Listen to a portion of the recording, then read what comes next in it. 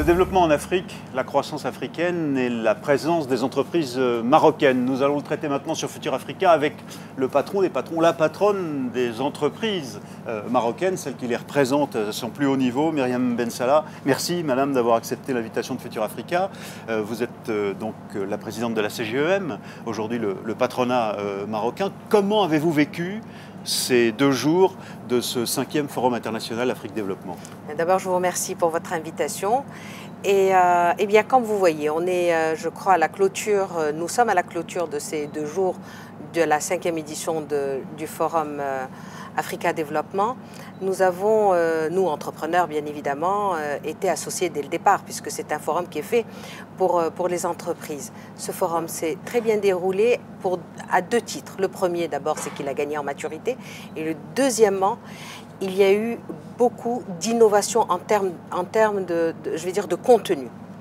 B2B, ça existait, mais les B2G, c'est-à-dire il y a des pays qui sont venus présenter leur programme de développement et qui se sont, euh, qui donc, euh, se sont rencontrés avec les, entrepreneurs et les chefs d'entreprise pour pouvoir adresser euh, les, les, cahiers de charges et les différents programmes de développement de ces pays, ce qui est assez, assez exceptionnel. C'est-à-dire qu'au fond, non seulement dans la tradition de l'échange commercial entre entreprises, le B2B, l'innovation cette année, une des principales innovations, c'est que les États puissent venir présenter leurs programmes et leurs euh, différents nouveaux services, ces nouvelles façons d'intégrer le, privé euh, pour le pousser à investir sur place. Exactement.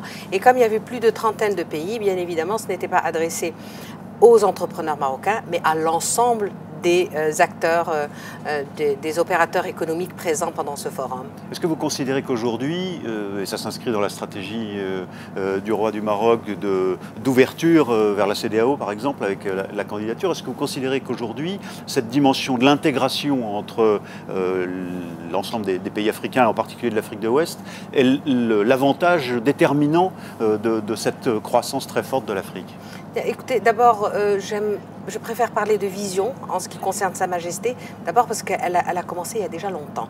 Aujourd'hui, on commence à, voir les fruits et euh, les fruits mûrs de cette, vision qui euh, découle de plusieurs stratégies, dont l'inclusion et on, est dans une croissance inclusive, c'est le thème de ce forum, l'inclusion du secteur privé dans cette démarche d'intégration sud-sud et le rôle du secteur privé dans ce maillage-là.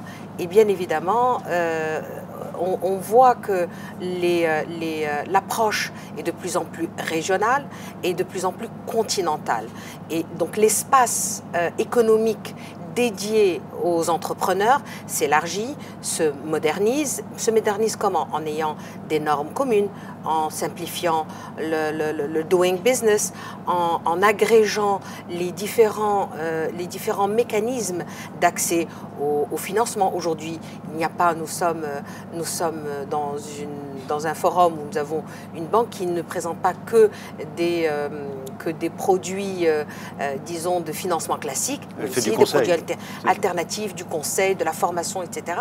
Donc on, est un petit peu out of the box et c'est ce qui, et, et c'est ce qui fait la spécificité de notre continent, c'est que, et on l'a dit, on l'a entendu tout au long de ce forum, c'est qu'il y a, l'Afrique adresse ses problématiques avec des solutions innovantes. C'est un pays jeune, avec des ressources, euh, des ressources et des pépites intellectuelles et, de compétences. Jeunes, donc, donc on, est dans, un nouveau modèle où, euh, où, les, les, solutions sont des solutions qui sont dédiées à l'Afrique, bien évidemment, en bénéficiant de l'expertise et de l'expérience des autres, des, autres, pays plus mûrs et plus, et plus, avancés. C'était précisément ma dernière question, c'était la spécificité des entreprises marocaines dans, ce, contexte de, croissance et de développement africain. Euh, leur spécificité, c'est cette méthode, cet objectif euh, de développement durable au service de la relation sud-sud. Exactement, et, euh, et, pour ne citer que quelques-uns, beaucoup d'exemples et de témoignages ont, euh, ont euh, été présentés pendant le, le, forum. Et, et on va parler de quelques, quelques entreprises, quelques secteurs plus exactement, pour ne fâcher aucun au cas où j'en oublierai certains. Ça va de, de la, donc des banques, des assurances, du secteur de l'industrie, de secteur des BTP, donc infrastructures, immobilier et autres. Mais nous avons également, une, commence à une expertise en termes d'agro-industrie, d'industrie pharmaceutique.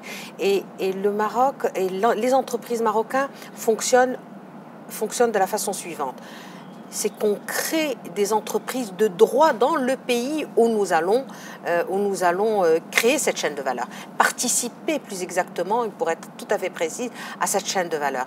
Donc ce sont des entreprises qui deviennent de droit de ce pays-là. Et la CDAO, vous avez posé la question sur la CDAO, est -ce que, ce que cet espace apporte? Eh bien, beaucoup d'entreprises marocaines sont présentes dans cet espace-là.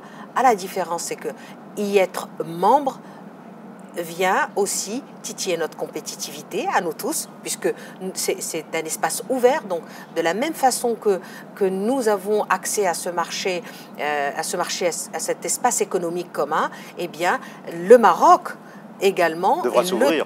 Bien évidemment. Donc la compétitivité, mais en même temps, euh, on a un espace agrégé en termes de normes, de standards, de process, de financement, de formation et autres. Et c'est nécessaire pour euh, que les entreprises euh, puissent continuer dans leur, dans leur train de, développement et, et, de, et de croissance. Merci d'avoir accepté l'invitation de Futur Africa euh, et pour euh, la présentation de tous ces éléments, de ces perspectives euh, optimistes pour les entreprises marocaines notamment et pour les entreprises d'Afrique. Merci Madame Metsal. Merci à vous.